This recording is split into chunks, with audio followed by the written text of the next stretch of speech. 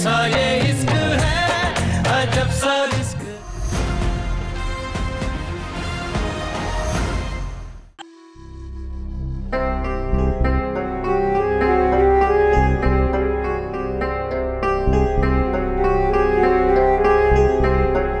तो वो ये अरे यार किसका फ़ोन आ गया है? हेलो? हाँ राजेंद्र। श्याम सुंदर बोल रहा हूँ? हाँ हाँ बोलिए भाई साहब। वो सिमरन बेटी से बात करना था जरा। अगर तने कोई दिक्कत ना हो तो? न- ना ना दिक्कत वाली बात क्या हो सके? अब वो गुसल खाने गई है वो जैसे ही बाहर आए हुए ना तो मैं आपकी बात करवा देता हूँ। ठीक है मैं इंतज़ार करता हूँ। जी भाई साहब। सिमरन से क्यों बात करने से? रहने दे तू। यू हम कर लेंगे। चंचल? चंचल क्या होया अरे क्यों रो रही है तू? बोल क्यों रही है? अरे बता तो सही बात क्या है? आग लगा के हाथ सेकना तो कोई आपसे सीखे जी। और आग लगाए में तो क्या अपने चोरे की खुशियों में ऐसा क्या कर दिया मैंने जो करना था कर चुके आप। ये और कुछ ना करने दोगे मैं। अरे इतनी मुश्किल से तो इतना बढ़िया रिश्ता आया चोरे का और आप उसने भी तोड़ना चाहो ये तो हो गया जी। ठीक है जी वो दारू तो होगी ना। क्या बात कर रहे हैं आप? जी मेहमानों के खत्ते। अरे वो लोग पीते नहीं है वो शाम सुंदर भाई। अरे नहीं नहीं मुझो मुझो की ज़रूरत ना है भाई। अरे फ़ोन पे शकल दिखाई ना देवे है। वो फ़ोन आया उनका वो खुद ना ऐसा। और वो जो है ना सिमी से बात करना चाहते भाई। क्या? क्यों? अभी? हाँ। पटवाए अरे मन्ने के बेरा। अरे अरे होशियार को फ़ोन लगा के पूछ।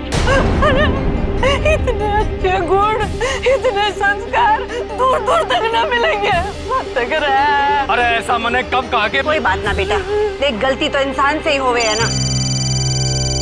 और तू फ़ोन सुन ले हमारी बात सुन ले।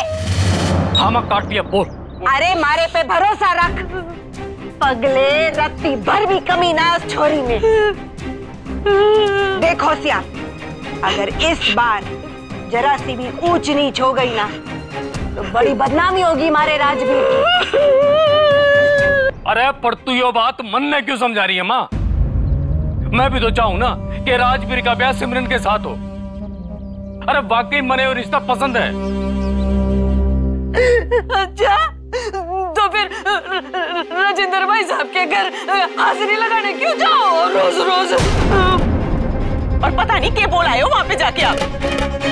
यू फ़ोन कर रहे हैं अभी उन्हें। किसने? सिमरन ते अरे चलो जरा देखे। काम के बात कर रहे हैं सिमरन से चल। वनीता जी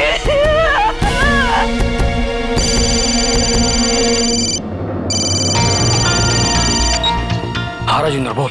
अरे क्या बोल बोल। भाई साहब कब से फ़ोन लगा रहा हूँ? फ़ोन करते जा रहे हो बार बार। अरे ये घनी मुसीबत हो रखी है पहले से ही। वो सब छोड़ राजेंद्र। पहले ये बता भाई साहब का फ़ोन आया था कि हाँ आया था? तभी तो फ़ोन लगा रहे हैं आपको अभी तो फ़िलहाल जो है ना मैंने गुस्से खाने का बहाना लगा के टाल दिया उन्हें थोड़ी देर के लिए। पर आपने मेरा है कि किस खातर फ़ोन किया उन्होंने? Speaker speaker. हाँ। हाँ हाँ बोलो। अरे यार भाई साहब को पता चल गया कि मैं बार बार गोपालगंज जाऊँ। उन्हें यूँ लगता है कि मैं राजवीर और सिमरन का रिश्ता तोड़वाना चाहूँ क्योंकि वो पढ़ी लिखी ना है। अच्छा सुन मेरी बात ध्यान से सुन। इस बार अगर भाई साहब का फ़ोन आवे ना तो सिमरन को समझा देना अच्छी तरह कि वो भाई साहब के सवालों का जवाब बहुत सोच समझ कर चित्रिया दे। और सुन सुन सुन। जैसे ही सिमरन की बात हो जाए ना तो तुरंत मेरे को फ़ोन करना। ठीक सर। सुन ले बेटा। जी। बहुत शांति से सोच समझ के जवाब देना जवाब ना फिसने चाहिए वरना सब जी। फ़ोन लगा रहा हूँ बात कर।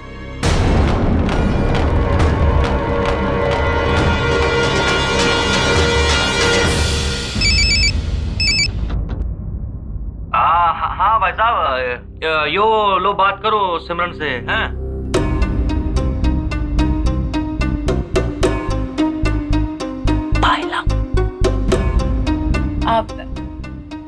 पायला। बताओ जी। जी तेरा बेटा। वो तेरे से बात करने का मन हुआ तो मैंने ऐसे ही फ़ोन लगा दिया। असल में उस दिन यो देख के मेरे मन को बड़ी खुशी मिली थी। तने कैसे अकेले ही पूरे परिवार को संभाल रखा था। हमने अपने राजवीर के खातर भी ऐसी छोरी चाहिए थी बेटा, जो न सिर्फ़ राजवीर ने, बल्कि उसके साथ साथ पूरे परिवार ने भी संभाल सके। और मारा मानना तो यो है बेटा, कि ये घर परिवार की समझ जो है ना, वो इंसान को संस्कारों से मिला है किताबों से नहीं। जी बिल्कुल ठीक किया आपने। चूल्हा चौका रसोई ये किताब थोड़ा ना सिखा सके मन्नी तो बस अपना जीवन बड़े बुज़ुर्गों की सेवा में लगाना से वाह बेटा वाह। बहुत बढ़िया। अरे तेरी बातें तो मने एकदम सत्संग प्रवचन जैसी लग रही है बेटा। लेकिन हमारे घर में भी एक साधु रहवे जो सारी दुनिया ने अपने ही रंग में रंगना चाहे। और अगर वो तने कुछ उल्टा सीधा पाठ पढ़ा है ना बेटा तो उसकी बात एक कान पे सुनियो और दूसरे कान पे काट दियो। अब जी मन्ने कुछ समझ में नहीं आया जी। अरे बेटा, तेरे ससुर होशियार की बात कर रहा हूँ। असल में, उसने राजवीर के खातर पढ़ी लिखी चोरी चाहिए थी। और तू ठहरी अनपढ़। तो हो सके वो कुछ गड़बड़ करने की कोशिश करे। इसीलिए, तने सावधान करने के खातर मैंने यो फ़ोन किया है बेटा। कि गलती से भी कहीं उसके बहकावे में मत आ जाइयो। जी मैं तो वही करूँ जो जो हमारे हमारे बाबूजी मन्ने कहे हैं। अब जहाँ उन्होंने हमारा ब्याह तय कर दिया है मन्ने तो उसी को अपना घर मान लिया है। मन्ने बहलाने पुसलाने से कोई फ़र्क ना पड़ने वाला। बस बस बस बेटा। तेरी बातों से ना, मारे मन का बोझ हल्का हो गया। अपने स्वभाव में यो सच्चाई और अपने चरित्र में यो पवित्रता हमेशा बनाए रखियो। मारे परिवार की नींव भी इन्हीं दो चीज़ों पे पड़ी है बेटा। और अपने साथ यो ही संस्कार और यो ही परंपरा लेके हमारे घर आ जा बेटा। मने तेरे ते कुछ नहीं चाहिए।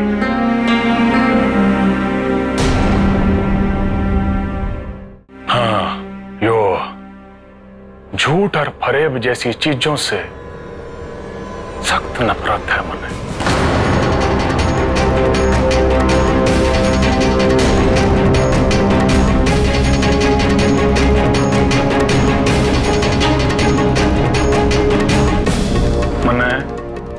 सगे बेटे को घर से निकाल दिया।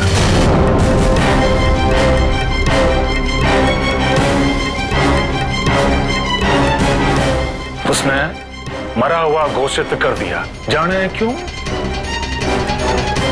क्योंकि उसने मारे थे झूठ बोला था।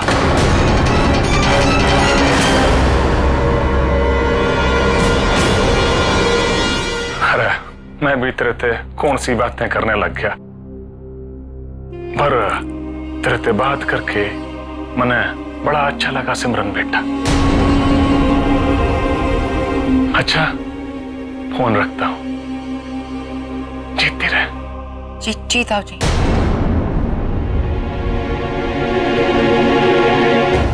झूठ और फरेब जैसी चीज़ों से सख्त नफरत है मुझे